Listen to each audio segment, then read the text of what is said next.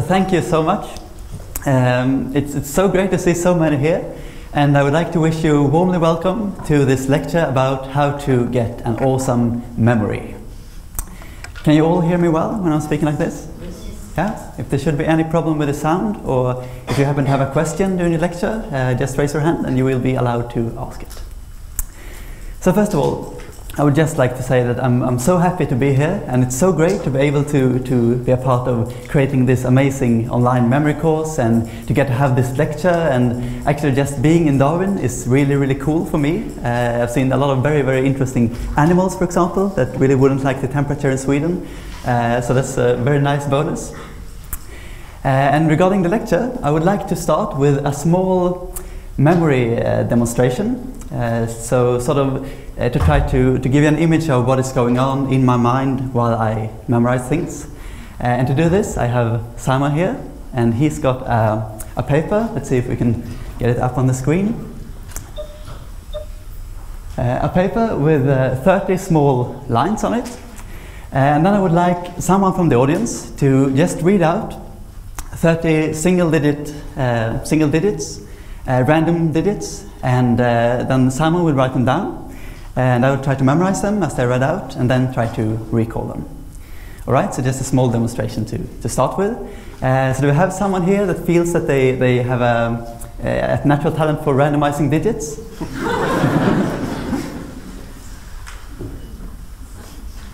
yeah? I have one I prepared earlier, which is actually the, um, the canasta results from a game between Choir and Timothy Skinner myself and our son Felix. So there are random digits. All right. Yeah. So do you have 30 random digits there? Yes. Okay, yeah, that's great. So, okay, so yeah, I think yeah, it might, might be a little bit um, like it, it, looks as if it might be prepared since we know each other a little bit and you have it prepared there. Uh, so, so, so, we might actually take someone else just to make it make sure that it's no no trick. Someone just just it's quite easy. You just have to, to read out digits, whichever digit comes to mind. Yeah? Someone? Nine. Uh, oh, yeah, right, okay. Uh, so, so, one person can read all the digits. So just put your hand up if you think you can do it. Yeah, right? Uh, okay, so I'd like you to uh, just give you some inst instructions and then you can start. Um, so yeah, so read up the single digits, so between 0 and 9, and at a moderate speed, like um, 1 per second, so that Simon uh, has the time to write them down. And pretty loud and clearly so that I can hear it well, so like 0, 5, 9, 2, like that. All right? Uh, so yeah, start when you feel ready. Three, one, five, one, eight, nine, four, two, one, zero, three, seven, eight, three, one, zero, four, six, eight, five, three, one, six, eight, five, six, two, one, seven, five. All right, thank you so much. Uh, okay, I'll just go through them quickly in my mind to see that I've got them all. Mm.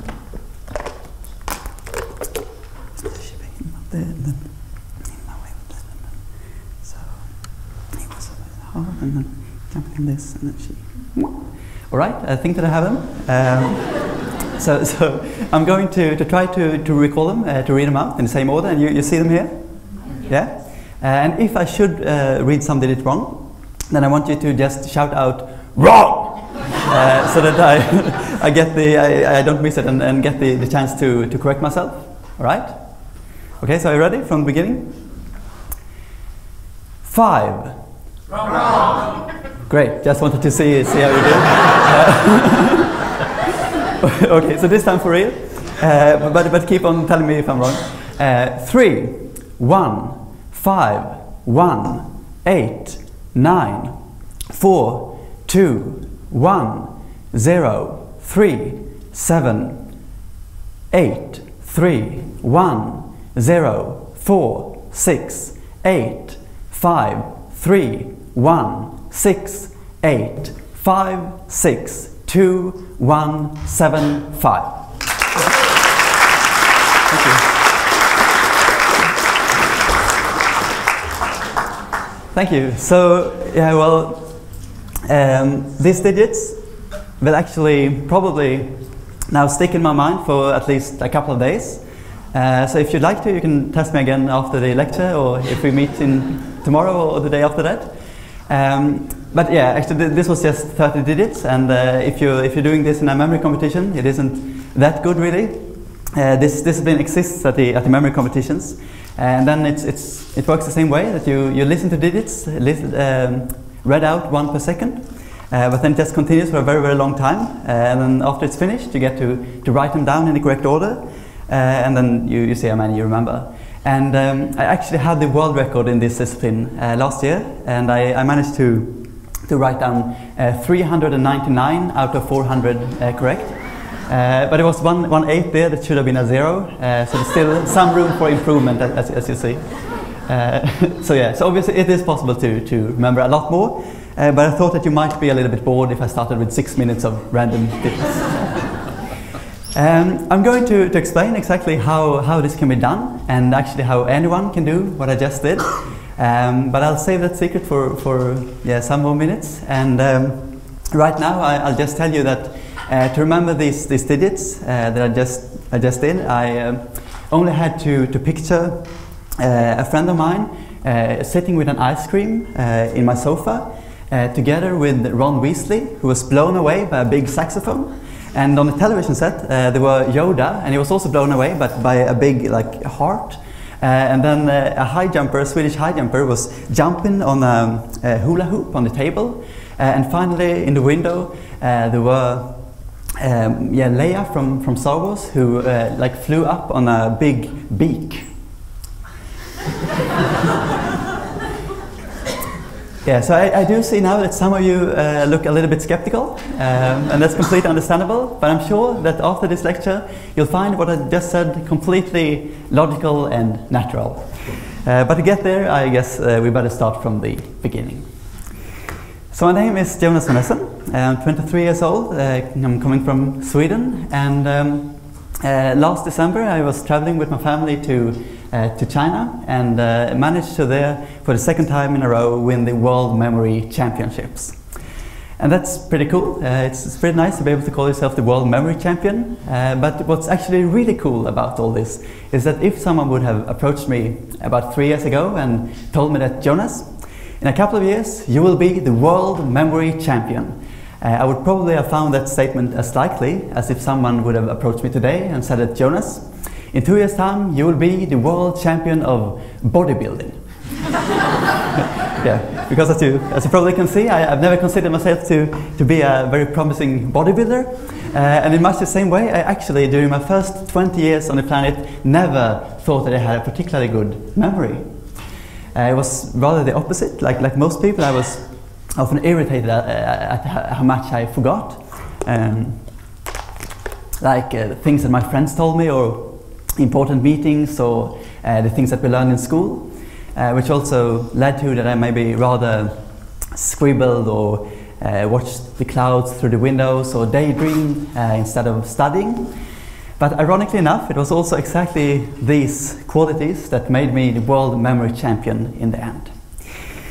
And to explain how this significant uh, transformation occurred, I think that I, uh, I, have to start with an experiment uh, here together with all of you. And this experiment, it's, um, uh, it might feel a little bit unusual, uh, a little bit odd probably, but I would dare to say that it might change your lives forever. So I hope that you do your, your very best. Do you feel ready? Okay, sort of. Yeah, that's all right. Uh, yeah, I think that you'll do fine. Um, this experiment, it, it's actually quite simple. We actually, uh, we only, uh, we're only going to, to imagine some things placed upon our own body. So if you start by just picturing that on your head you have a small crosswalk, Okay, there's a crosswalk on your head. You're painted zebra stripes, and there's a lot of people running back and forth, rushing over this crosswalk on your head. Okay, and it doesn't have to. You don't have to see it very clearly or, or very beautifully. You can just imagine some kind of crosswalk on your head. And if you think that it, it's difficult to see this crosswalk, uh, you might might choose uh, the head of your your uh, classmate or, or friend uh, and see a crosswalk on, on their head instead, if that's easier. So just yeah, as long as you see a crosswalk on, on someone's head in here. Can anyone see some kind of crosswalk on someone's head? Yeah, great. Uh, okay, then you can forget about this. Don't think about the crosswalk at all anymore. Uh, but go on and con- uh, focus completely on your ears. And now try to imagine that out of each ear there's a big red maple leaf growing out. Okay, so you have two red maple leaves growing out of your ears. And if you think that it, it's getting a little bit hot in here, you can try to cool yourself with them like this. okay, you see these red leaves? Yeah, great. Uh, then don't think about them anymore, but go on and, and focus on your eyes. Uh, and this might sound a little bit odd, but try to imagine that you, you've uh, changed one of your eyes into a hamburger. Uh, so, so instead of an eye, you have a hamburger in one of your eye holes, and uh, you can try to picture these small sesame seeds on, on top of it, and maybe you get a tear of mayonnaise going down your cheek like this. Okay, so hamburger in your eye looks quite funny. You don't see so much because you've got this hamburger in your, in your eye. Uh, right, then we go to the nose, and uh, this might feel a little bit uncomfortable, but uh, try to, to, to visualize that you take two, um, a pair of, of chopsticks and then very carefully put, put them up your nostrils, one in each nostril like this. And if you feel that you're, you're very skilled, uh, you, you've got very good uh, motoric skills in your nose, then you can try to pick up a small uh, sushi bite like this you, you. Uh, but it's really over because you, you just have to, to think uh, that you have this, this chopsticks in your nose, right? Uh, then we go to the, the mouth, and um, now think that you have a, a soccer ball, uh, like a round soccer ball in your hand, and then you're putting this soccer ball into your mouth, like this. So you get a lot of tension on the jaw like this, and it, you can taste the, the grass and the dirt from the soccer ball, but you still have it in there, right? Mm, yeah, good. I see someone uh, like putting tension on the jaw. That's really, really nice. Uh, okay, the soccer ball in the mouth, and then um, we go to the chin. And I'd like you to, to imagine that your chin today is um, uh, a little bit more bouncy than usual. Uh, so it's almost like a small trampoline. And uh, that has caused a kangaroo to come over here, and, and this kangaroo is now jumping up and down on your chin. So when you're peeking down, you see the kangaroo go, going. Okay, see the kangaroo on his chin? Yeah. Uh, we have a few left. Uh, let's move on to the armpit. And uh, I'd like you to, to think that you, in your armpit, you have got um, an Indian god sitting there and meditating. So when you look there, you see this Indian god, and you might see like four golden arms coming out under your normal arm like this. Uh, so yeah, it's a bit unusual, but, but I'm sure that you, that you can picture it, an Indian god meditating in your armpit. And then we only got three left, so we move on to the, the belly button. And um, uh, imagine that you've, uh, you've rented out uh, the space in your belly button to a pirate. Uh, so there's a pirate now living in your belly button, and it's very, like, not so much space there, of course, and then it gets quite warm as well, so he's, he's not so happy about this. He's yelling, arg, arg, all the time. Okay, so you have the pirate here yelling, arg, right? And then uh, between your knees, uh, imagine that you, you're holding a, like a big magic wand. Uh, you're holding it between your knees, and you're sort of swinging it around. And every time you, you do, uh, you throw a curse at someone, and uh, you hear the sound Gazam, Kazam. Okay, so a wand with the sound Gazam. And then finally, at your feet, just picture that there are a big heap of algae. Okay, so it, it stings a little bit, and it, you see all this algae. You can feel them a bit with your toes. Uh, probably very, very good for the, the nails. So algae on the floor. So how did you find that? a little bit unusual? So- yeah? Uh, good. I, I, uh, we will return to this in a little while. Uh, but right now, you can just forget about all this. Don't think about it at all anymore. Uh, but sit down, uh, sit back, relax, and I'll tell you a little bit more about uh, these memory competitions. So, um, did you know before this that there, there was such a thing as a, a World Memory Championship? No, most people didn't. No, no, it's, it's not the, the, the biggest sport in the world yet, but it's, it's getting bigger every year. And there is a, a World Memory Sports Council uh, that has a lot of small tournaments uh, all over the world. Uh, there is actually even a, an Australian Open uh, in memory that you can participate in if you'd like to. I'll probably go there later this year myself.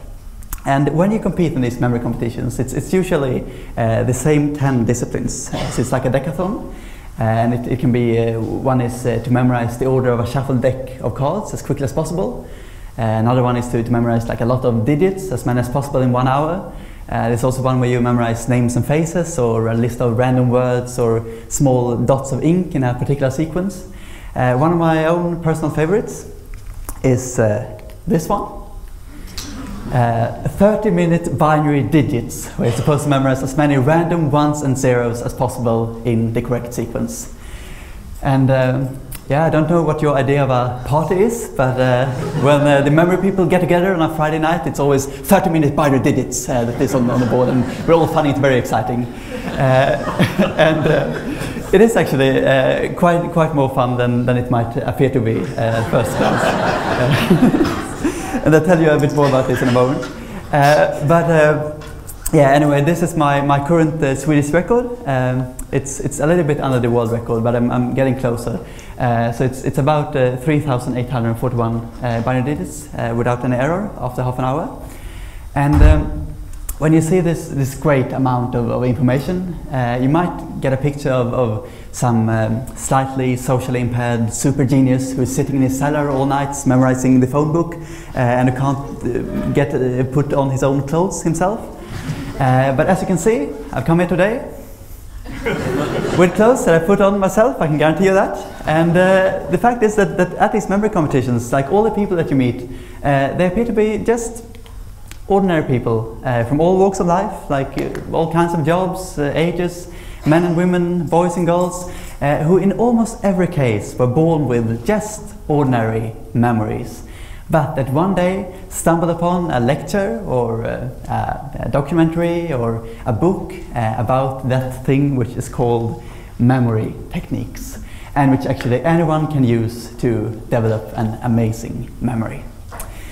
And the good news is that there isn't even, uh, it isn't even so much about like getting an amazing memory, but rather about discovering the fantastic memory that you already possess.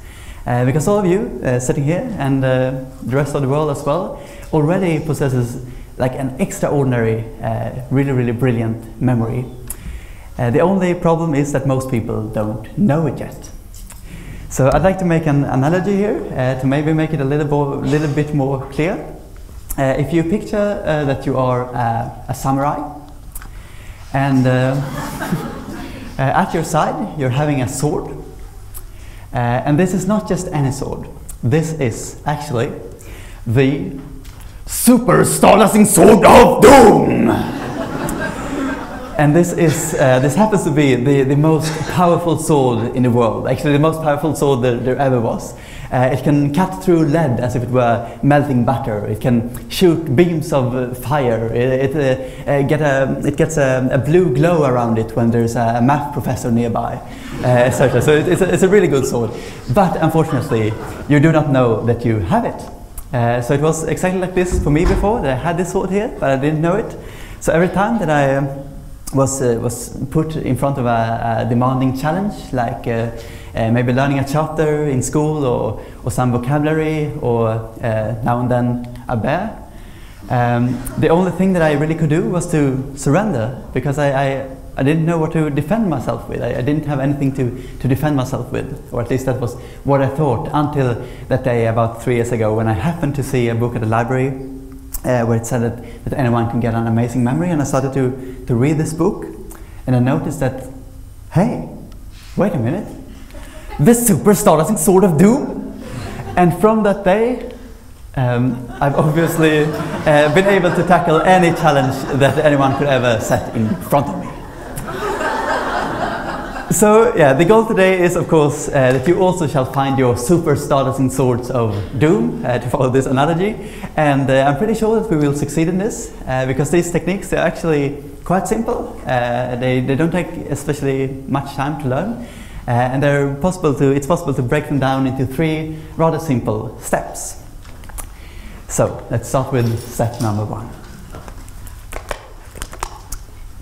And this, this first step, uh, it might seem obvious, but it's actually uh, to, to convert the thing that you want to memorize into something more memorable. Because when you think about it, there are certain things uh, that no matter how much you try to get them into your head, it just doesn't seem to work. Uh, it could be like uh, if it's a long, uh, uninteresting book or uh, some, some complex paragraphs that you want to memorize, or really anything that doesn't really interest you. While on the other hand, there are a lot of things that, that you don't even have to try to remember, but you just remember them anyway. sometimes even if you don't want to remember them. Uh, like if you've seen a very, very exciting movie, uh, or uh, if you're, yeah, something fun is happening at a party or something like that. And it's obvious that it would be really great if you could take these, these in, uninteresting and, and not so memorable things and turn them into these things that just happen to, to stick in your brain without any effort. And that's of course possible to do in a lot of different ways, uh, but there's, there's one way uh, that has proven to be a little bit better than, than most of the others. Uh, I usually call it one method to rule them all. Uh, is, is there anyone who has got any idea of what, what this, this sort of, this kind of, memory would be? Language? No? Yeah, yeah. It's, it's actually it's quite difficult to guess. Uh, I wouldn't have guessed it myself before I, I knew about this, uh, but it's actually to memorize in images. Uh, and you might have read this some sometime. You might have heard that. Yeah, just try visualizing the things that you want to memorize, and then you'll memorize everything uh, without an effort.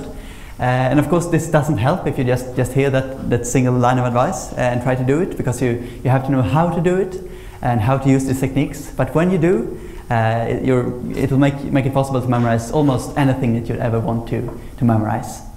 Uh, and there are a lot of scientific studies that have proven the, uh, the visual memory to be the absolute best way of, of memorizing like huge amounts of information in a short, short amount of time and get them to, to stick there in your brain for a long time. And there are probably a lot of you that, that, still feel a little bit skeptical about this. So I thought that we, we shall try and see if this really can be the case, if, if this really can be uh, such a good way to memorize things using images.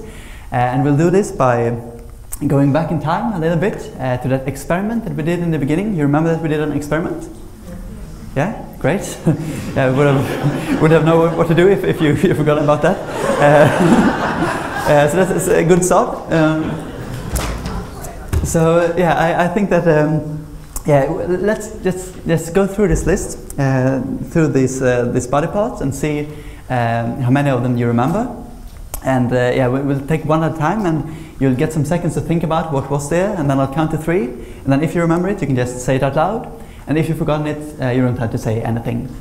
uh, and it, it's completely alright if you've forgotten all of it, because I, I, didn't tell you to memorize anything, and we just went through this once uh, rather quickly. It was the first try, so, so it's completely alright if everything is gone. But uh, let's try and see if, if something got stuck there.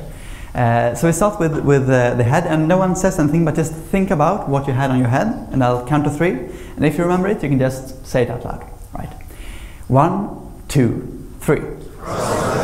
Wow, good start. Okay, this, this is looking promising.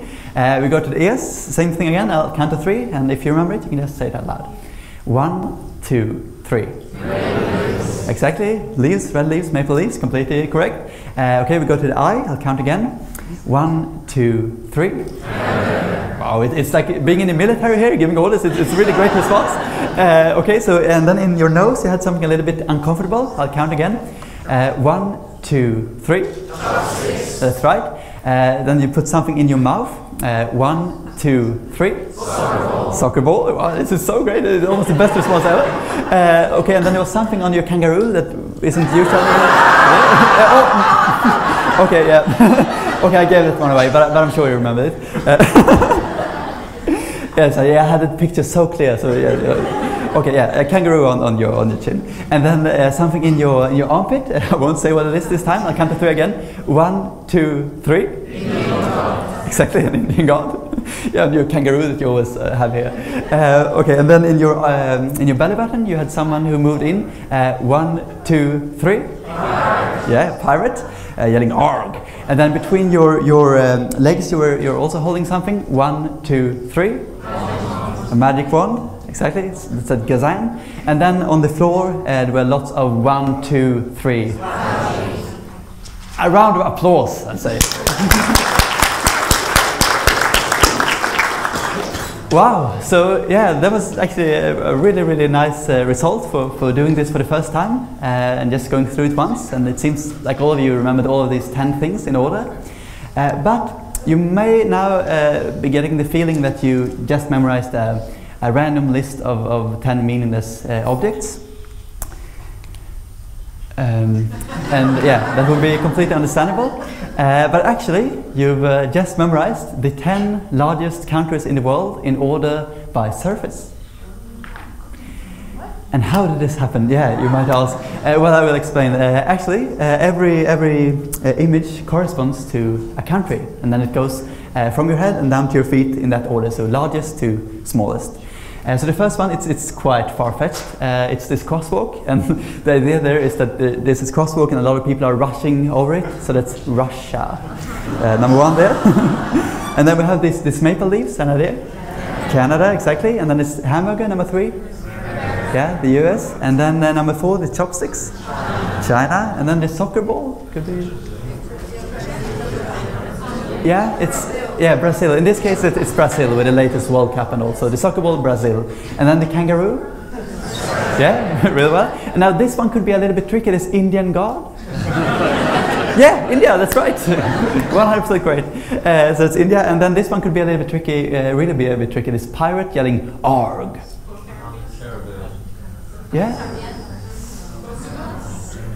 I think someone said it. Argentina. That's right. Argentina. Uh, so this is. Uh, and then it's, it's, sort of the same thing with the with the magic wand there. Uh, something that sounds like that sound Kazam a little bit. Kazakhstan. Kazakhstan, exactly. And then the algae on the floor. Algeria. Great. So now we can just run up this these countries in order uh, forwards and backwards without any effort. Well done. Uh, so this is sort of this is how it works. This is the the basic idea, uh, the first step to, to convert whatever you want to memorize into something that makes more sense to the brain, uh, or not not always more sense, but but more which is more fun and, and more memorable for the brain. So for example, images, which has proven to be uh, to work very well for for most people, uh, and that takes us to step number two. And uh, step number two, uh, that's more about how to uh, recall these things while, once you, you got them into your brain. Uh, that might be just as tricky as actually memorizing it from the beginning. Uh, so, so let's take a, a normal situation. Uh, you're sitting and you're reading, studying something, and maybe you, you, you're reading about Macedonia, and you read that yeah, the, the capital of Macedonia is Skopje. And then you think that, wow, I'd really like to, to memorize that. So you take this bit of information, this Skopje, and you, you put it in your brain somewhere.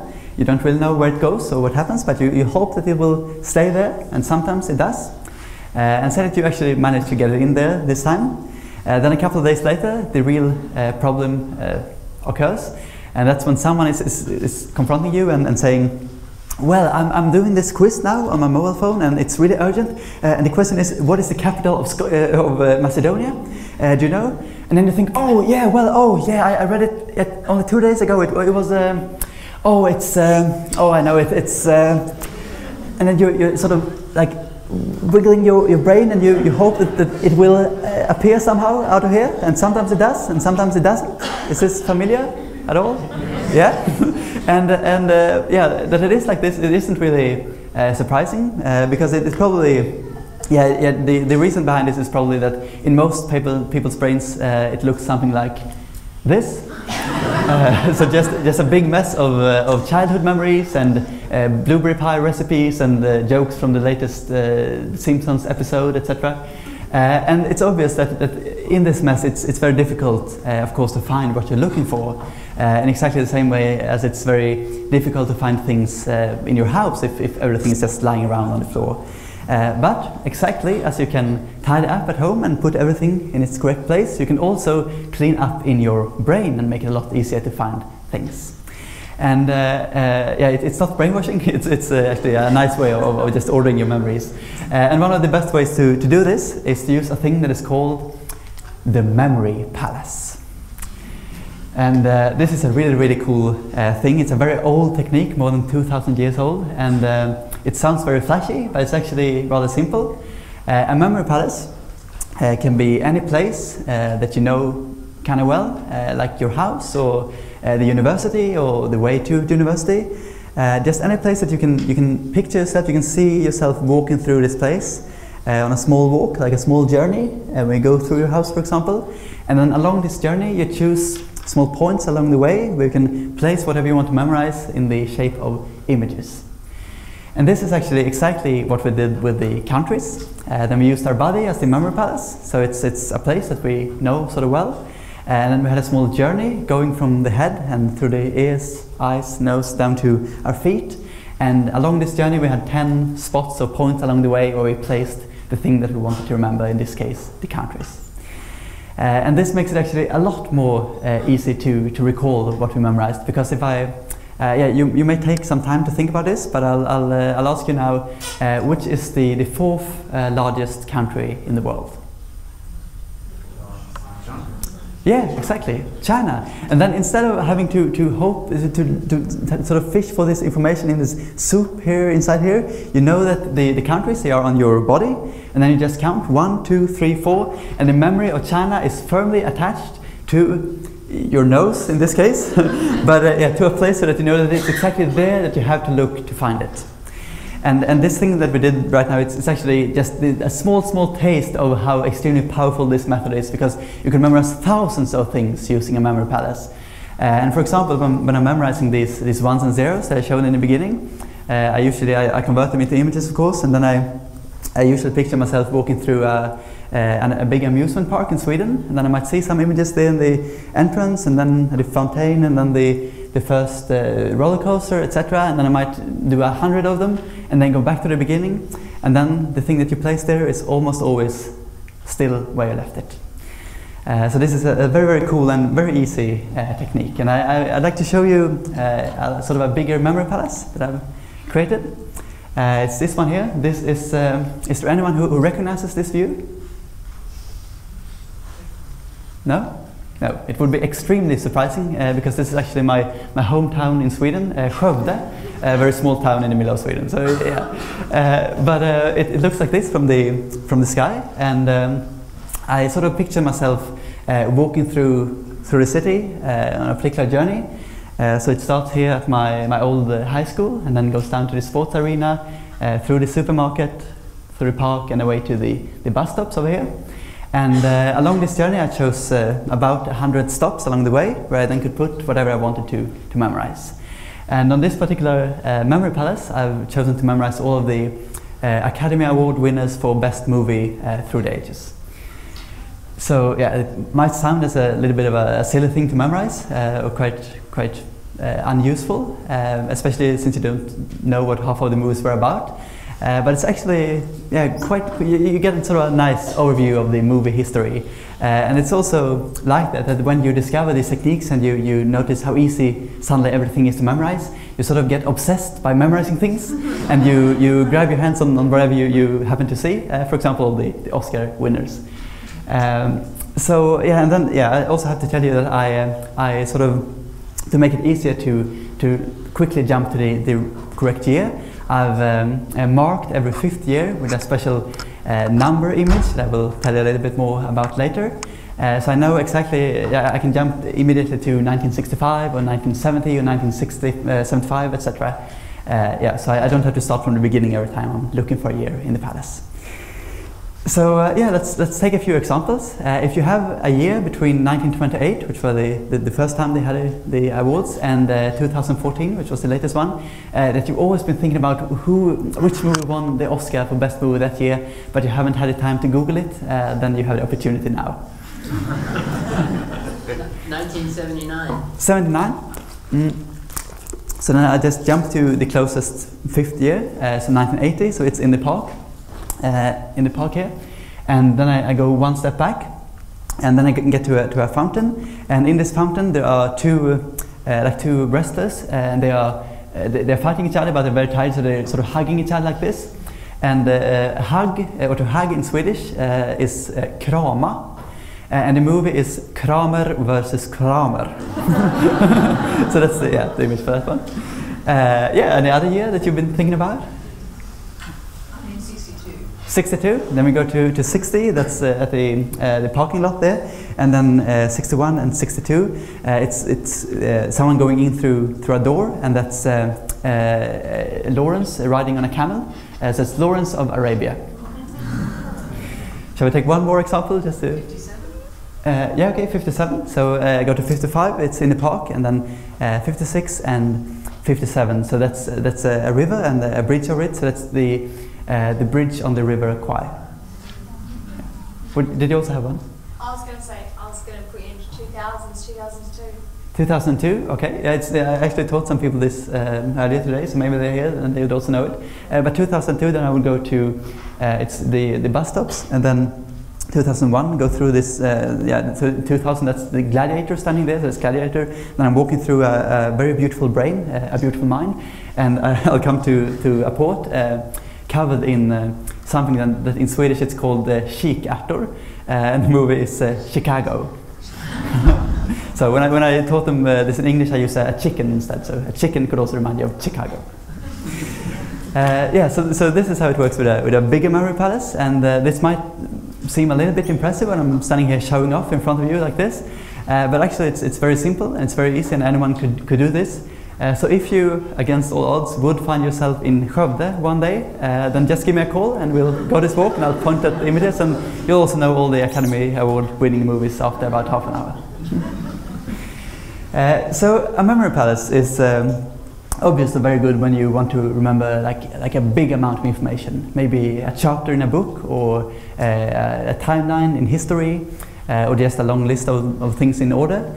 Uh, but sometimes you might want to just memorize uh, some, some small bit of information, like someone's address or, uh, or the answer to a question. And then you don't, of course, every time have to create a whole memory palace, but you can just use this, this principle of uh, taking an image of something that you already have in your mind, uh, and that has to do with this thing that you want to memorize, and then create a new image of the thing that you want to learn, and somehow associate this new image with the old image, so that you can get to the, the new image by taking up the old image. Uh, so I'll give you an example of this, or several examples actually. Uh, names is, is uh, one of the things that most people find uh, quite difficult to remember. Uh, and I think that the, the main reason for this is that actually people don't really try to remember it because they think that they're so bad at remembering them uh, that they, they, they sure that they will forget it anyway, so they don't try from the beginning. So actually, just trying to remember someone's name is a very good start if you want to get better at remembering names. But you can also, of course, use memory techniques. Uh, and when you, when you want to memorize someone's name, you usually want to, uh, when you see the person, when you see the person's face, uh, you want to be able to say, oh, hello there, Tim. Uh, so that's the first thing. And then the, the second thing is that you, you want the, the person's name to actually be Tim. Um, and uh, uh, both of these things you can achieve with this method.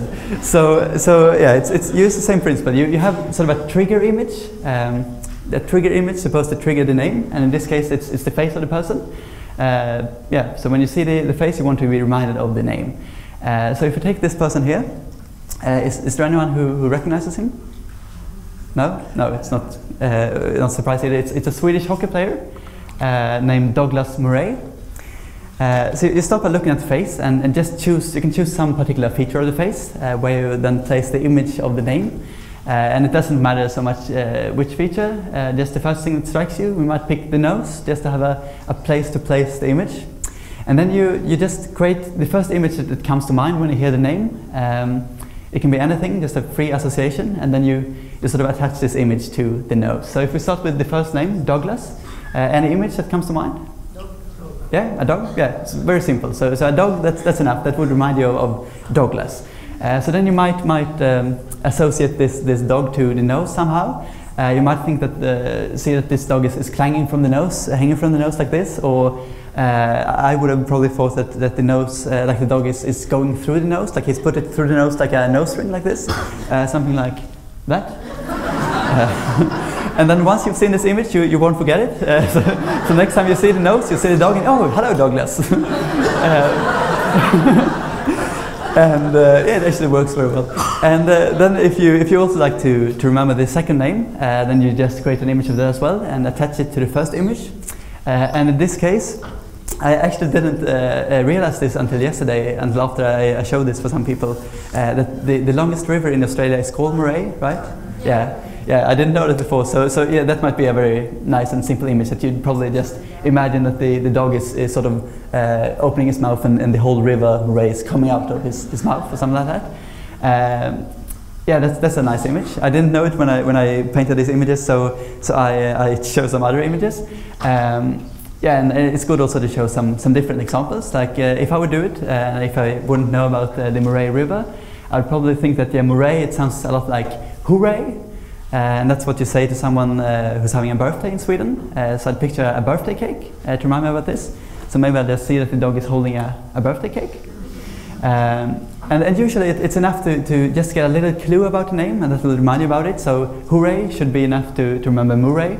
But if you really want to, to make certain that you memorize uh, that it starts with an M and not an H, uh, then you might also imagine that this, this birthday cake is, uh, is bought at McDonald's. So it's, it's got a big M on it, like McDonald's M like that. And then you know, yeah, hooray, and then M, yeah, Murray.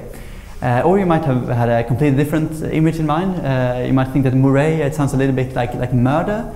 Uh, so you'd, you'd, imagine that this dog is trying to murder uh, Douglas, uh, like this, uh, or just anything. So it's, it's very personal. Uh, you can just choose the first image that comes to mind. And, and once you're going to use it, this, it's then quite easy to just throw images in the faces of people and then memorize a lot of names in a short amount of time. So yeah, please try this at, at the next party or, or thing you're going to. Um, yeah, so I, I think that yeah, I'd like to, um, to try and give you some uh, some pictures to, to memorize um, in this way, like, like attaching, associating one, one image with another image. Uh, and these images, they, they will make some sense uh, later. Uh, maybe not right now, but, but in a while. Uh, so yeah, if you're up to it, we can go on and memorize some images, right? Yeah, okay, cool. so let's start with, um, with attaching Sputnik or associating Sputnik, the, the Soviet satellite, the first satellite that, that was put up uh, with Luke Skywalker. So uh, does everyone know who Luke Skywalker is? Yeah? Yeah, exactly, from Star Wars. Uh, so if you, if you don't know him, then you can just imagine any guy uh, whose name is Luke. So it, just, it doesn't matter, it doesn't have to be Luke Skywalker. It can be any Luke, uh, and then associate this person with Sputnik. And you can do this in any way you'd like. Um, I would probably just picture Luke sitting on Sputnik and traveling uh, on it and looking down on Earth, uh, see what kind of planet it is. Uh, something like this. Um, so I'll give an example for every image, but, but if you come up with something else, you can use your own association instead. Uh, and yeah, as you see here, he's also got uh, Yoda on his back, uh, but that doesn't really matter. It's only Luke who is the, the important person here. So you just have to imagine Luke riding on Sputnik. Okay, that's the first one. then let's move on to Elvis Presley, and we'll associate him with a cookie. So uh, you might picture that you're, you're uh, finally you, like you gotten tickets to, to a concert with Elvis Presley, and you're finally there. You're, you're seeing the King live. It's really amazing. Uh, but then suddenly someone is throwing a cookie in uh, Elvis's chest so that he actually dies, uh, and it's horrible. Uh, but yeah, shit happens. So so Elvis get, gets a cookie in his chest and dies. yeah, probably something that you'd, you'd remember. Uh, so just yeah, Elvis and a cookie. Uh, and if, if you come up with something else, you might see him just eating a big cookie or anything, but, but yeah, you can use this image. Uh, so Elvis and cookie, and then uh, let's go on to uh, this. Uh, this is actually the, the Swedish parliament. and this one might be a little bit more tricky because we're going to associate it with um, a special Swedish chocolate brand called Marabou. You don't recognize that? No, no, it's probably not so famous outside of Sweden. Uh, but yeah, we're, we're, going to use it anyway. Uh, so yeah, you might just try to remember that the name of this brand is Marabou, uh, like the Marabou store, store. Um, or, or, yeah, or, or you might, if you're a Nintendo fan, uh, you might picture uh, Mario and Boo fighting over a piece of chocolate. So Mario, Boo, Marabou. Uh, yeah, or, or just try to remember, it's Marabou. Uh, and to then remember this, this chocolate brand and associate this with, uh, with Sweden's parliament, uh, you might uh, imagine that Sweden is actually sponsored by uh, Marabou. Uh, it isn't, of course, but, but you, yeah, you can imagine that, that every morning every member of parliament is getting a, a, piece of chocolate when they arrive to make them happy during the day. And there might even be a big piece of chocolate behind the, the desk there to make sure everyone sees that Marabou is the sponsor of Sweden. So that's what the, what the packages looks like. So Marabou and Sweden. Okay, this is a little bit tricky. I, I, I don't blame you if you don't remember the name Marabou. Uh, and then we, we have the last image. And to this one, we're actually going to associate three different images. Uh, so it's the yeah the, the Sydney Opera House, the house obviously, uh, and um, the first thing that we want to associate with this is uh, a gum. Uh, it's like like a, a chewing gum, a bubble gum. Uh, so you might imagine that um, that it's uh, yeah the, the, the first yeah, the first time they have a, show here at the Opera House, and someone has put a big gum up like on, on, the top of it here somewhere. Uh, and when they are singing uh, and people are breathing, uh, like a lot of, a lot of air is coming out and it's filling up this gum to make it a big, nice bubble gum like that. okay, so bubble gum, so or gum, that's the first image. And the second image is, uh, the second thing we want to associate with this is uh, tar. So tar, that's the, the name for the thick black thing, right? Uh, so then you, you might just think that um, while they are painting the opera house, someone, someone is painting it with tar, uh, which is completely wrong. Uh, so, so that makes it take a lot longer than usual to, to finish everything because they have to paint over this tar with, uh, with the white color. So just see some tar on top of the, the opera house. And then the last thing, which is a little bit more abstract, it's, uh, it's a dozen, a dozen of something uh, we want to associate with this. And uh, yeah, then you might think, for example, that the uh, to, to get into the opera house, you have to be 12 people at a time. Uh, so you might see 12 people coming in, a, in a, an egg carton. Uh, usually we have, have a dozen of eggs in them in Sweden, coming to the, the, opera house like this. So a dozen of people coming to the opera house. Okay? So we've got these three images, um, and then let's move on to something else. Do, do you think you got it all? Yeah, yeah, we'll see you later. But you don't have to worry about it. You don't have to think about it at all. Uh, I'll try to distract you with some, some other images uh, and see how well you do later. Mm. So I have some some more, uh, more examples of, of how you can use memory techniques to remember certain things. Uh, and uh, yeah, of course, I, I, heard before that some people had to go earlier. So if you have to leave, uh, if you have some appointment or something, uh, then I, I, don't mind. Uh, yeah, if you leave, of course, if you have to leave, then then you're free to leave, and I won't uh, take offense. Uh, but if you're interested in, in memorizing something more, then you better stay because there's some really exciting stuff coming up. so yeah, geography is actually one of, one of the, the most suitable things for using memory techniques on. Uh, and it's interesting there because um, in schools uh, they're not using memory techniques at all, at least not in Sweden, which is quite a shame I think. Um, but sometimes there is like a small memory technique just coming up to the surface and then going back again. Uh, and when it does, it usually helps a lot. Uh, so, for example, there's one, one country in Europe uh, that if you go into a, a Swedish uh, second grade class and ask them to, paint out, uh, to point to different countries on the map, there's one European country that, that everyone can point to except for Sweden. Uh, any idea of, of which? Yeah, exactly. Yeah, cool that it also worked here. yeah, that's right. So Italy. And why is it so easy to remember where Italy is? Yeah, exactly. Yeah, it looks like a shoe or a boot or a high heel shoe uh, kicking a football or whatever. Uh, so, so yeah. So once you've heard this, once someone has said to you, "Yeah, look at Italy. It looks like a like a high heel shoe," uh, then you'll never forget it. It's it's every time you see it, you see, "Yeah, that's Italy." And if you want to, to look for it, you look for it, and you say, "Yeah, that's the shoe. That's Italy." Uh, but since this is working so extremely well, and you don't even have to put an effort into it, uh, why? Um, settle with Italy, you can obviously use this for, for memorizing all the countries and, and all the rest of the geography of the world with a little bit of imagination. So uh, to take an example, uh, here is South America. Looks like this on the map, and with a little bit of modification, you can make it look like this. Uh, and I don't know if uh, it ever occurred to you, but um, Argentina, uh, it looks really a lot like, uh, like a guy who's got a, a chicken club in his eye. Uh, and he's obviously yelling "Arg!" because of this. So same as the pirate Argentina. Uh, Chile looks like a, a, chili pepper, very convenient. Paraguay sort of looks like a, a baby in the middle there, and you might imagine that this baby is looking for his parents. So Paraguay. Uh, and yeah, Colombia looks like a cool cow, etc. So, so when you start using this technique, it's, it's quite easy to, to, memorize all the geography of the world uh, without much effort, and it's also uh, quite a lot of fun. Uh, and you can use the same technique to memorize like uh, bones in the body or, or different uh, organs and stuff. Just look at the shape and see what it reminds you of, and then associate it somehow to, to an image. Uh, it even works with um, words and vocabulary. Um, it's sort of the same as, as with the names. You take something that sounds similar to it and create an image of that, and then you can memorize a lot of vocabulary very quickly. Uh, I've taken a, a sort of a, a tough example here to uh, yeah to show how you can how you can tackle these. Uh, so this is a word, uh, Isishi Yaga Lombili. Uh, anyone who knows which language this belongs to? Some people are saying. I, I, think that's a good guess. I, I don't know much about this uh, at all, actually. Uh, but I only know this word because my, my girlfriend was uh, doing voluntary work in, in South Africa where they spoke um, Zulu, uh, which this is from, uh, among other languages, of course. Uh, so this is um, a Zulu word, and um, anyone who's got any idea what it could, could mean? Eight? Yeah, that's right. Yeah, so we have some Zulu knowledge here anyway. Uh, yeah, exactly. So it's, uh, yeah, there was a little um, clue at the side there as well. Uh, and uh, yeah, the, the, first thing that, that, may strike you is that it, it seems very uh, inconvenient to have such a long word for a digit.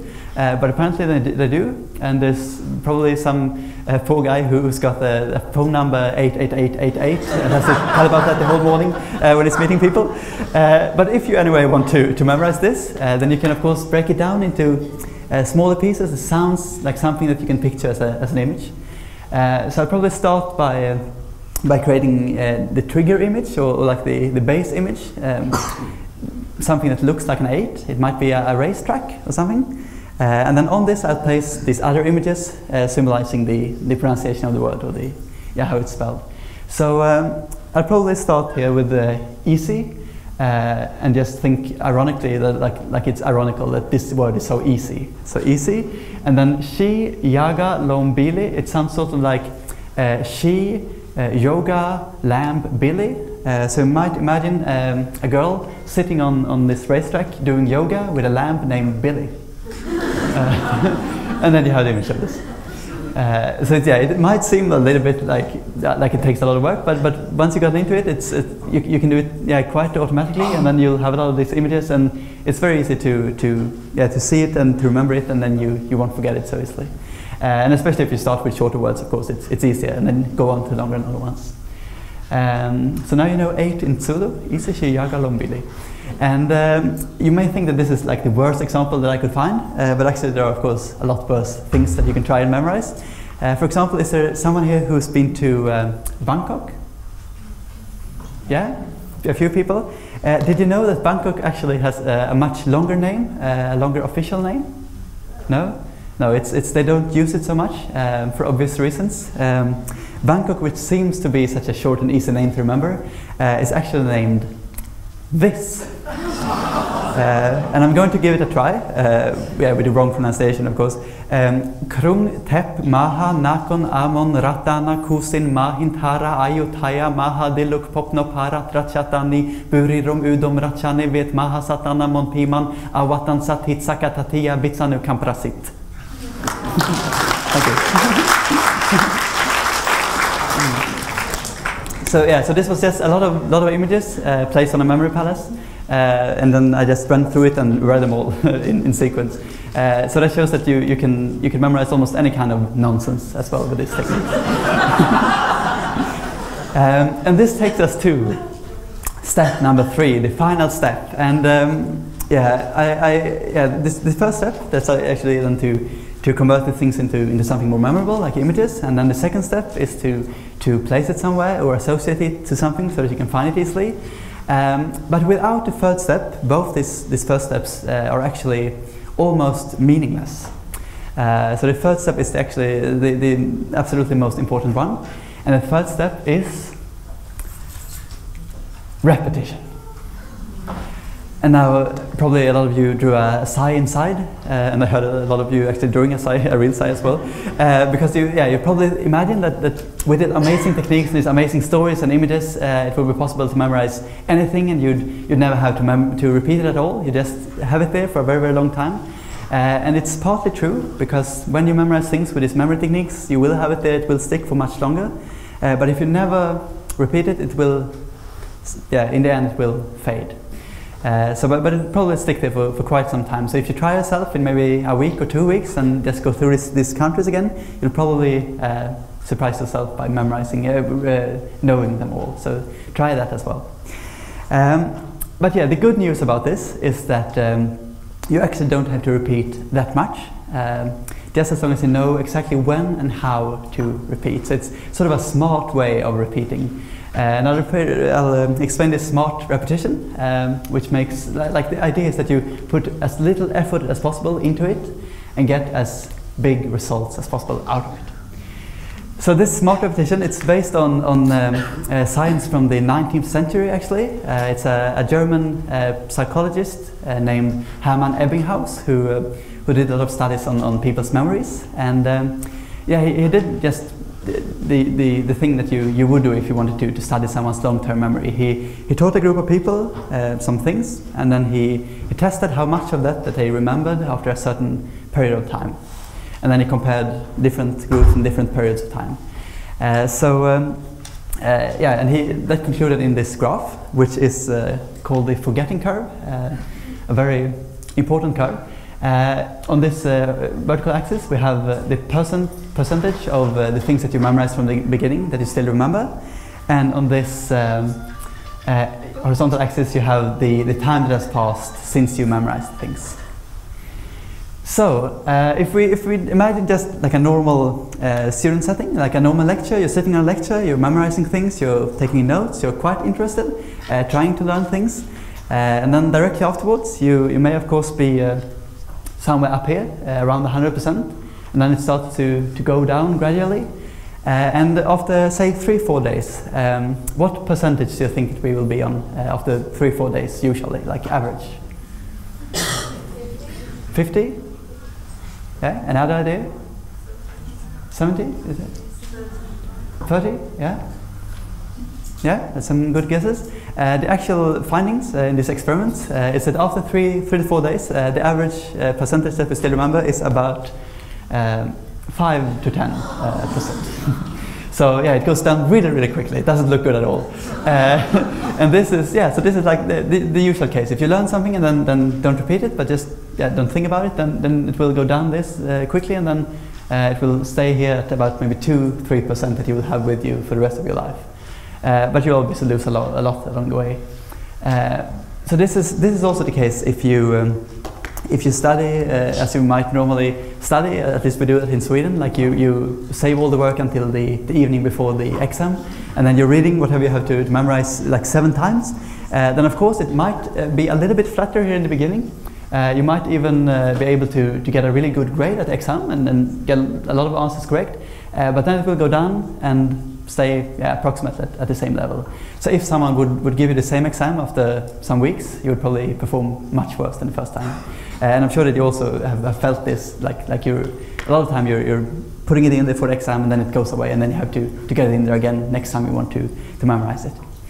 Uh, but if you, instead of, of taking these, these seven repetitions uh, on the night before the exam, just uh, listen carefully at the, uh, to the lecture, lecture uh, and then just once after some hours after the, the exam or after the lecture, and maybe later the same day, just quickly go through your, your notes or go through your images in your head, just repeat what you learned quickly. Then you will, of course, jump up again, and then it will go down a little slower and stay a little higher. So with this one extra repetition, you might actually uh, twice the amount of information that you that you that you would have left from the beginning. And if you then do the same thing the day after, just quickly again go through your notes, or just think about what you learned, uh, then you'll go up again, and then go down a little bit less steep and uh, end up even higher. So this, this, it's still not high, but it might be five times as much as, as without the repetitions.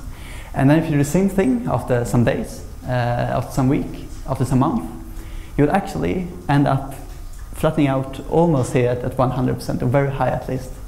Uh, so that means that if you, you take these, these seven read-throughs and instead of, of, placing them all at the same time, like before the, exam, you just yeah, put them, distribute them over a longer time interval and have longer and longer time in, in between the repetitions. You'll go uh, from here up to here, uh, which is quite a significant uh, difference. Uh, and yeah, with, with the same effort and the same amount of time. So yeah, this looks really cool, uh, I, I, suppose, and it's uh, yeah, it's very nice, very nice for the colors as well, I must say. And um, yeah, in, in, in, the beginning you think, wow, this is brilliant. I, I must start incorporating this uh, immediately. But then you might start thinking practically. And then you realize that you would have to actually write down for everything that you remember, uh, write down that I'm supposed to memorize uh, to repeat this in, in uh, three days, and this in, in seven and a half weeks, and this in, in 2.3 years, etc. And you'd actually have to, to almost hire someone just doing all that work for you. Um, but in today's modern society, there is of course excellent apps for this. Uh, and there's one app, like I suppose there are a lot of apps with the same function, but uh, the one that I'm using, it's, it's very nice, very convenient. Uh, it's called Anki, uh, A-N-K-I. Uh, apparently it means uh, to memorize in Japanese. Um, it's, it's actually free for, for Android. If you have Android, it's free. I think it's called Anki Droid there. it's also free to download on your computer from the website. Uh, it does cost a little bit for iPhone, I don't really know why, uh, but uh, yeah, it's definitely worth it. Or maybe you can find something else, some similar app for that. Uh, so the way Anki works is that you, um, every time that you learn something interesting, something that you would like to remember, uh, you would like to store into your long-term memory, you just uh, put that piece of information in, into the app in the form of a, a question and an answer. So for example, if you, if you, yeah, you hear after whom America was named, and then you think, oh, I'd like to remember that, then you just put this question and answer inside of the Anki, and then um, you take up your phone, like some minutes uh, every, every morning, and just go through today's Anki, and then it will, after a while, pop up this, this question. And then you just think about it, after whom was America named? Uh, someone who knows? Yeah, yeah, good guess, but actually it was another guy who got the whole continent named after him. Amerigo. Yeah, exactly, Amerigo Vespucci. So then you, you might just remember it, or you might have a, a picture of an American uh, American wasp wearing Gucci or, or something, uh, or you just just remember it, and then you think, yeah, it's Amer Amerigo Vespucci, and then you you check and say, yeah, that was the right one, and then you just choose uh, if you remembered it, if it was yeah, you remembered it good, or if it was easy or very easy, or if you didn't remember it, then what do you have it again. Uh, and then Anki will, with an algorithm based on this, this forgetting curve, uh, calculate when you need to memorize to repeat this the next time, uh, so that you have to repeat it as, as rarely as possible, but still can be sure that it will stay inside of your brain. So this is really cool. So I, I, actually put everything that I want to, to keep in my memory for a long time into Anki and uh, checks it just some minutes every morning and, and then I know that it will stay there. So I like to, to compare Anki to a treasure chest where you put all your memories and you know that they will stay in there. And that's actually, uh, that actually makes it extremely much more motivating uh, when, you, when you're studying because you know that you will actually remember these things for the rest of your life instead of just forgetting them after some days, which is the normal case. So I definitely warmly recommend Anki. Um, yeah, and this was actually the, uh, all the three steps. So now you, you know almost everything there is to know about the memory techniques and how to memorize stuff. Uh, so I hope that you, you will actually try to use this after the lecture. Uh, but we have some uh, one thing left uh, that I didn't, didn't talk about and that might be a little bit interesting, and that is how to memorize numbers. Oh, not supposed to put this on my water bottle. Uh, mm. So yeah, it's it's also a cool thing because a lot of people would find it, oh let's see, would find it difficult to probably difficult to memorize like a lot, lots of numbers, like long sequences of numbers. Some people might find it easy to memorize a few numbers like that, but, but for most people it's hard. Uh, and the reason for this is probably that numbers in themselves are quite meaningless, like they don't have any, any if you don't assign them a meaning, they don't mean anything. Uh, and even if you try to, to use a memory palace to see a, a 2 in your hair and a 5 in your ear and 9 in your eye, it would, you'd soon start to, to mix them up because it, it doesn't mean anything in particular to have a, a 2 in your hair, for example. Uh, so that's why the, these techniques are, uh, are based on, on converting numbers into something more interesting, into some more interesting pictures. Uh, and one of the first uh, methods that, you, that will be described if you read a memory book uh, is to convert every single digit into something that, that looks like, something that has got sort of the same shape. So you may, for example, picture a goose or a swan, a swan holding a stick and on top of this stick, it's balancing a hula hoop.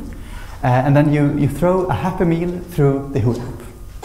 Okay, can you see that in front of you? Yeah? Uh, and now you, you just memorize the, uh, the height of Sweden's highest mountain, Kebnekaise. Uh, because if you, if you translate these, these images into the pictures that look similar to the images, uh, then we, we start with this one. Any idea? Yeah, exactly. It looks like a two, and then a stick. Yeah, one. And uh, the hula hoop zero, and then the happy meal.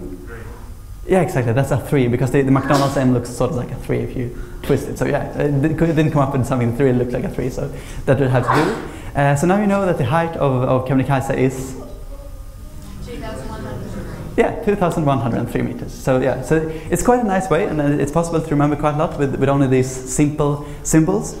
Uh, but to make it a lot more effective, you have to uh, have um, have images for, for more than just one digit. And so at these memory competitions, almost everyone has at least uh, one image for every two-digit number. Uh, some even have it for three-digit numbers. And there's one guy, uh, a German guy, who's got a, a, an image for every four-digit numbers. Uh, so he's learned 10,000 different images, uh, and he's very good at remembering numbers. Um, but yeah, we, we won't uh, learn to like 10,000 uh, images now, but we'll start with a simple system instead for, for coming up with images and words for more than one digit. Uh, and this system, uh, it's, it's very famous. Uh, like if you study memory, it's very famous, and it's called the major system. And it's based on this table in which every, every digit corresponds to one or more consonant sounds. So just learn this table. So, so zero, for example, corresponds to the s sound or the z sound. Um, or the soft C, but that's yeah the same sounds. It's, it's the sounds that matter here. And uh, one corresponds to t or d or th. Uh, and if, if there are more than one sound uh, assigned to a particular uh, digit, then it's, uh, it's because these sounds are like sort of in the same place in the mouth. Like if you say t, d, you notice that you, you use the same, like you put your tongue in the, in the same way. Uh, and it's really the same sound but with and without tone. So it's the same with p, b, and f, v. Uh, so just learn this table. Um, maybe it takes you 20 minutes to, to learn it sort of well. Uh, and then you can use these sounds uh, together with vowels. Uh, since then there's no vowels in here, you can just put vowels around the sounds and inside and outside of them to, to create words. And most, yeah, the best thing is then if you create words that you can see as images later. So yeah, we, we'll do some examples. So we have yeah we have these these numbers. So we start with a four, uh, and then you just check which, which um, sound it corresponds to. And if you if you learn the table, you all, of course know it already. Uh, but look here four that corresponds to R, so the R sound. And then you can put vowels before or after or in between. Yeah, uh, not in between this one, but before or after uh, or on both sides of the R. Uh, to create a word, and you can also use uh, H and W because they they're not also they doesn't correspond to to a, digit. So W, H, and also Y, and all the vowels can be used together with R sound to create a word. Any idea of some word that could be created? Say it again. Row? Uh, okay, you don't know, but but row is actually a word that could be could be created. Uh, so yeah, yeah, it might be. Yeah, I'll give you some examples for, for the first one. So row, um, or war, uh, or hair, uh, or or, uh, air, like like any, anything where you just use uh, vowels, uh, W, H, and y, y together with with this sound, and then in the right order. Uh, so yeah, so hair could be a, like a simple thing you could also you could also see. So you can remember hair instead of four. Of course, if you only have one digit, then you might just as well remember the digit. But when you have more digits, it's, it can be really useful to, to convert them into words. So if we, we look at uh, 74, uh, seven that corresponds to k or g. So k or g that sound, and uh, yeah, four still corresponds to r. So k, r, and then vowels. Say Car. Car, yeah, that's a very nice image. You can just see a car instead of 70, 74. Uh, something else?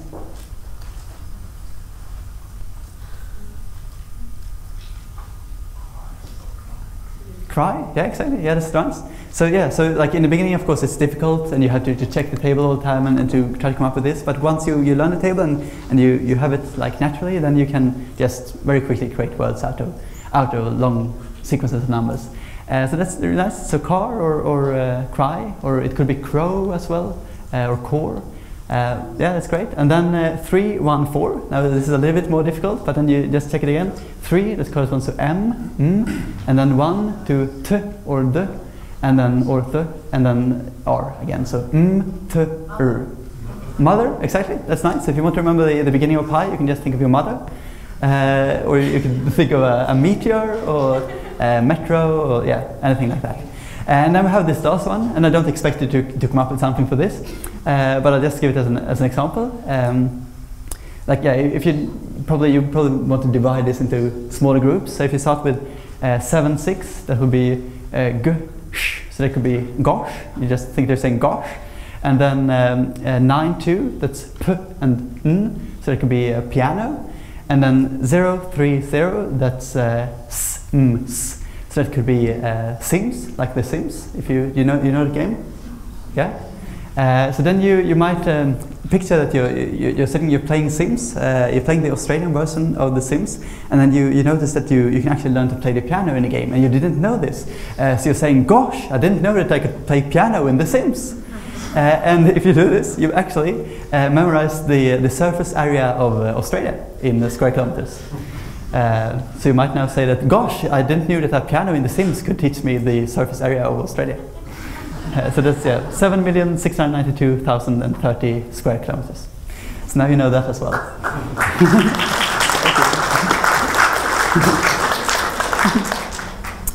so um, this is of course the thing that you yeah, you have to learn this table and then you, you can convert uh, sequences of numbers into uh, words and, and images. Uh, but then you also have to be able to do it the other way around. That's actually uh, easier. Uh, because then if you have a word uh, and want to, to convert it back into, into numbers, uh, you start by just uh, ignoring all of the vowels, uh, all of the vowels or W or, or Y or H. And then you, you look at what sounds you have left and then just convert them according to the table into numbers. So pen would be which number? Exactly, 92, because P corresponds to 9 and N corresponds to 2. And drone would be Yeah, exactly. 142.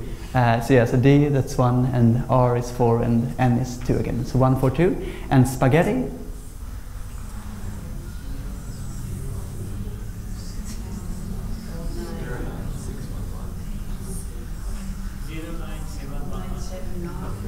Yeah, exactly. Yeah, I, I hear that a lot of you are saying uh, uh, zero nine seven one one, and it's almost correct. Uh, but one thing to have in mind uh, using the system is that it's it's only the sounds that matter. So if it's if it's uh, yeah like two teeth as if here, uh, then it's still only one sound. Uh, so you only count it as, as one. So yeah, uh, like of course you could choose to count it the other way, but it's it makes it easier. So that would be zero nine seven one. All right, I think that you're ready for actually using this on some things. Um, yeah, so you won't have to, to memorize the, the table, I will have it here on the side. Uh, but I wonder, I'm going to ask you some questions, and I wonder if you can answer them uh, using some of the information that you might have memorized earlier uh, and uh, this table. And if you know the answer uh, to these questions before, then you uh, don't answer it. But if you, uh, yeah, if you know it by using yeah, what you just learned and this table, then please answer it. Uh, so the first question is, which year uh, during the, the 1900s uh, did the Russians or the Soviet uh, get Sputnik up? So we're looking for two digits. 57, exactly. Uh, you probably all remember Luke, uh, Luke Skywalker, and that's Luke, that's L, K, that is 5, L, and K, 7. So that's fi- 57. So now you know that. Okay, great. Uh, so let's see. Uh, another question. Uh, which year uh, in the 1900s uh, did Elvis Presley die? Exactly. 77. So that's uh, cookie. So k, k, 7 7. Uh, okay, great. Well, you have a lot of, of uh, general knowledge in here. Um, okay, now this is a bit tricky one, uh, I, I suppose. Um, how many members uh, are there in the Swedish parliament? Yeah, that's correct. Uh, would you like to convert it?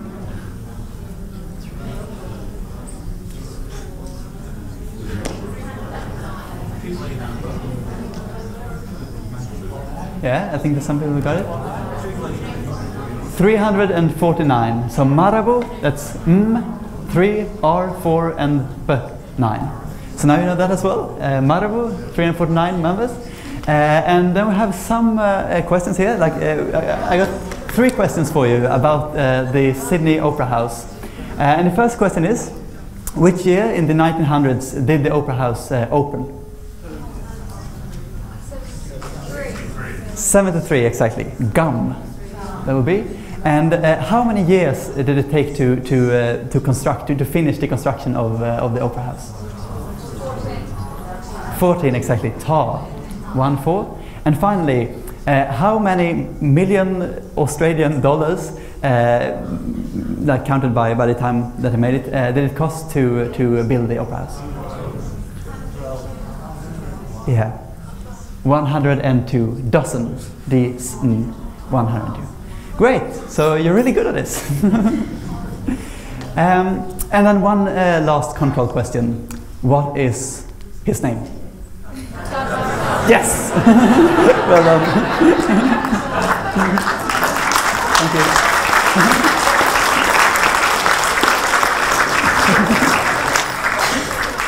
Thank you so much. Um, so yeah, we're going to have some questions now. Um, so you, yeah, feel free to ask me any question. And if you have a question that you don't want to ask in front of everyone, you can just come up uh, later and, and ask it. Um, yeah. Uh, do you do any uh, dietary supplementation like ginkgo biloba or anything like that? Uh, say it again.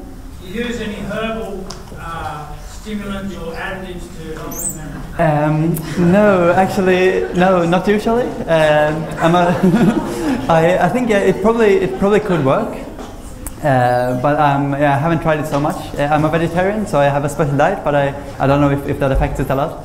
Um, yeah, I suppose that the, the, they still don't have uh, so, so many rules about uh, doping in the, the World Memory Championship, so you could probably try uh, any substance you, you'd like. Uh, but uh, yeah, I haven't tried it so far, so I, I can't say anything about it.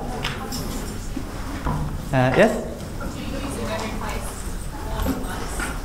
Um, yeah, that's also a good question. Like, I, uh, if I have a particular journey in a memory palace, uh, I, um, I wouldn't, uh, like, I, I wouldn't place new information on the old information. Uh, I could do that, but then I would sort of overwrite the old information. So it's, it's quite easy. You, you, you can really choose what you want to, to keep in your memory palace and what you want to, to take away from it. Uh, because if you want to erase something, you can just overwrite it with new information. Uh, so I might use the same place, but I, I, use a different journey. So I might use my house for several journeys, but they, they not they cross, but they don't. Yeah, it's not the same journey. Mm. Uh, How do you know which journey is for which sequence? Uh, yeah, usually you just you just remember it. It's it's obvious. Yeah, since you, you remember that you, you were at this place when you when you memorized this, uh, so it's quite easy to, to remember it. But I also have uh, like a memory palace where I put all my memory palaces, uh, so I can go through that and, and easy find what I, what I want to, to find. So if I wouldn't come up with it, I would look look in my memory palace palace. Do you um, do you know um, do you know how to memorize um, mathematical equations and things like that? Um, yeah, sort of. It's uh, it is possible, and uh, I have sometimes done it. Um, but I think that yeah, yeah. Of course, if, if you got like a lot of mathematical equations, uh, then you might want to memorize them. But but the best thing usually is to just try to really understand understand them, because then you'd probably be able to come up with them uh, even without yeah without memorizing them, and then you remember them anyway. Uh, but it is possible, it isn't extremely convenient. You have to sort of create a system for different images for, for square root and, and sine and cosine, etc. Uh, but if you do that, then, then you could sort of uh, memorize them in a pretty similar way to memorizing numbers. Do you recommend doing the crocodile tank in Mitchell Street? Uh, say it again? Do you recommend doing the crocodile tank in Um, Mitchell Street? Is that, is Uh, yeah. yeah, yeah, it's great. It's actually, yeah, it was really, really good. And the second time I actually didn't have to memorize it, so I could focus completely on the crocodile, and it was so cool and so big, like really like a dinosaur. It's, it's. I've actually never seen a, a real crocodile before, so uh, yeah, coming from Sweden, that was a, an extremely cool experience. I, I definitely think you should do it. Uh, so yeah, and you might want to, to memorize some cyclones as well. That was quite fun as well. Do you ever forget anything? Uh, that's also a good question that I, I get asked a lot. Uh, and yeah, the, the fact is uh, that I do. Um, I do forget things quite often actually because I, uh, since this is something that I, I, wasn't born with, but it's, it's something that I've learned to, to use, and I have to consciously use the techniques to memorize things. Like it's sometimes it's almost automatic, but it's I, I have to make a sort of conscious effort to, to memorize it and, and to use it. Uh, so when, I, when I'm not using the memory techniques, I, I forget just as much as anyone else. Uh, so mostly I don't use it. I, I mostly use it when it's something that I really want to remember, something that I think might be important or, or fun to, to remember. Then I use it, uh, but otherwise I, I don't. So, so I forgot. I still forget quite a lot of things. Can you recite to us the memory palace for remembering the cyclones the other day? Um, yeah, actually, I, I could have done it, uh, but I, um, I have overwritten, I've used the same memory palace to, to overwrite write it with other stuff. So, uh, yeah, it's unfortunate. I probably would have, would have been able to do it with some effort. But, mm. Johan, could you recite the 13 numbers that you started with? Could someone just put them back up on the screen? yeah, uh, okay, yeah, okay. So, yeah, can, you- can Simon put them on? Okay, I'll just go, go through them to make sure that I have them there. Maybe I shouldn't have said it. Uh, okay, so we have uh, sitting there with ice cream, and then Ron Weasley and the saxophone, and then Yoda and the heart, and then the high jumper with the hula hoop, and then finally Leia and the, the beak. Okay, yeah, I think I got them. Uh, yeah, oh, okay, I won't watch. okay, so it should be uh, 3, 1, 5, 1, 8, 9, 4, 2, 1, 0, 3, 7, 8, 3, 1, 0, 4, 6, 8, 5. Uh, yeah, that's right. 3, 1, 6, 8, 5, 6, 2, 1, 7, 5.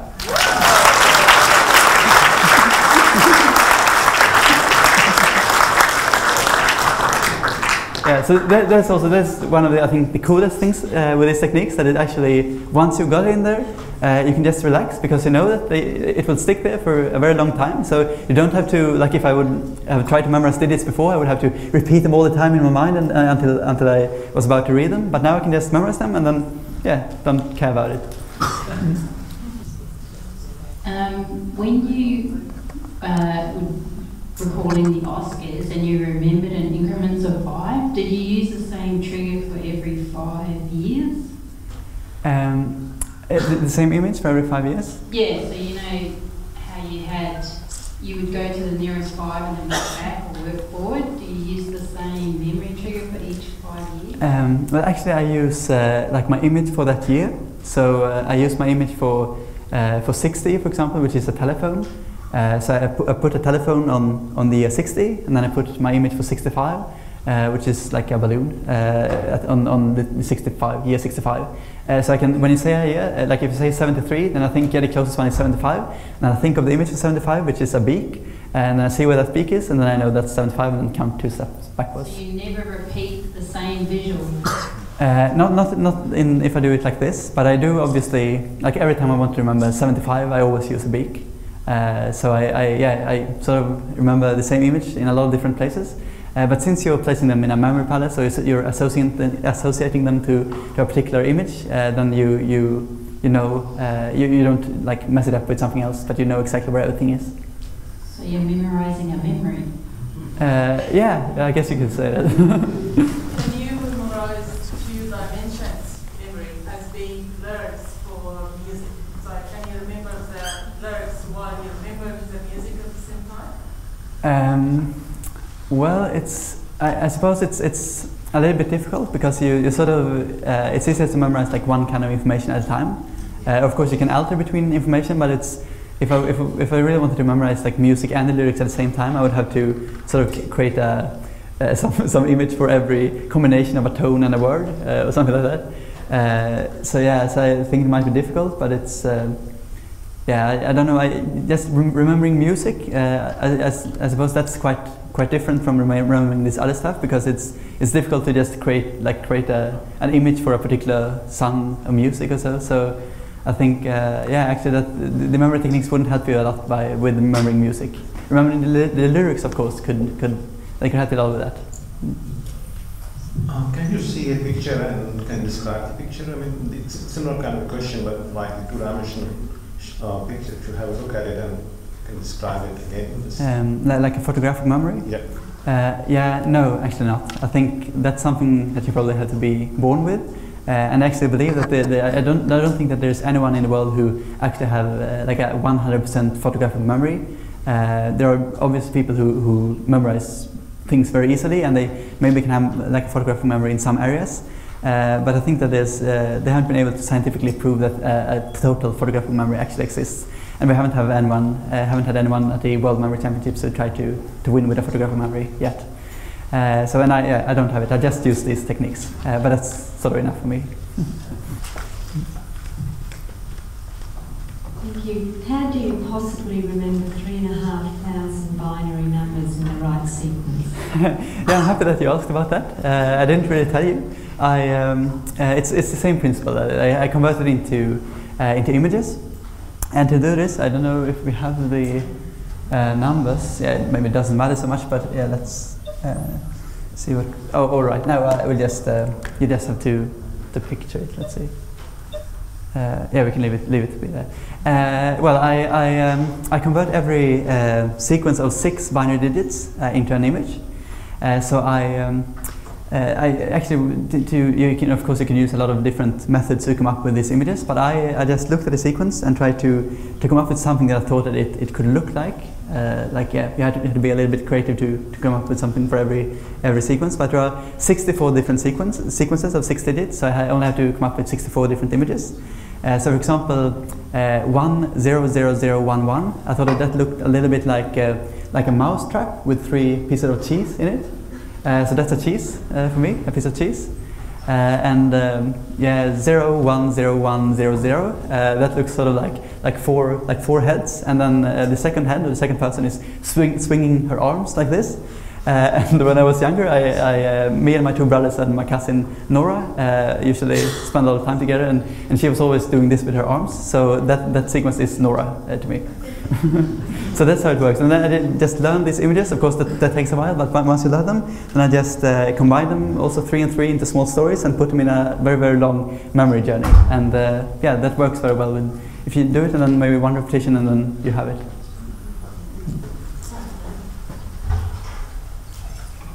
So now how do you spell your name? How do you spell your name? Uh, my name, uh, it's, it's uh, J O N A S. Uh, and then V O N with a small V, uh, like a small of them, and then E S S E N. Thank you. Do you have an email? Uh, yeah, yes I do. Yeah, yeah. If you're interested, like if you if you, you found this uh, techniques interested, or if you uh, if you forget uh, some things, uh, some of them, and, and want to yeah to, to remember what, what you were like, then you you're of course free to contact me. Uh, I have an email. it's it's info at jonasvonessen.se. Uh, but you can also visit my, my webpage, which is jonasvonessen.se. Uh, it's probably as easy uh, as memorizing the, uh, the, the mail. Uh, so and there, there I have all the, the contact information. It's in Swedish, so it might be a little bit tricky to find it, but I think you, you'll be able to do it. So yeah, yeah so, so, so, feel free to, to contact me and if, if some questions come up later.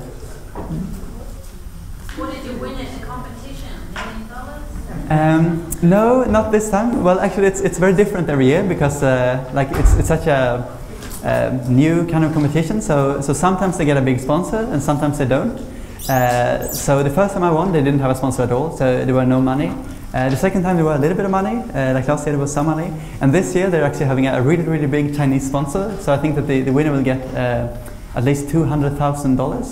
Uh, so that's, that's quite cool. So I, I would really yeah, try to do it again. Thank you. yeah, and then of course you also get, get a, like a trophy and medals and, so. Yeah. Do you need a manager, by the way? Well, look, we probably need to, to wrap it up. Um, and I should mention, actually, that I've actually been uh, lecturing this hall maybe about 50 times, and I've never been able to maintain students in this room for more than about half an hour. And somehow, despite the fact that it's 7 o'clock, uh, most of the audience has remained. So it's a really a great testament to an incredible talk. So uh, join me in thanking Jonas for... I, I, wait, I, um, yeah, I have one last image that I would just, yeah, as, as the grand finale. Uh, yeah, and I, would like to just, just wrapping up, up by saying that I, I hope that you enjoyed the speech. It was really, really a lot of fun to, to give it to you. And um, I, uh, I hope that you, you're interested, like, like you got a little bit interested in these techniques and might use some of them in your daily life or might go and borrow some book or Google it or so. And that when you go out here or back to your, your school or back to your work, that you take a deep breath and then draw your super starlasting swords of doom.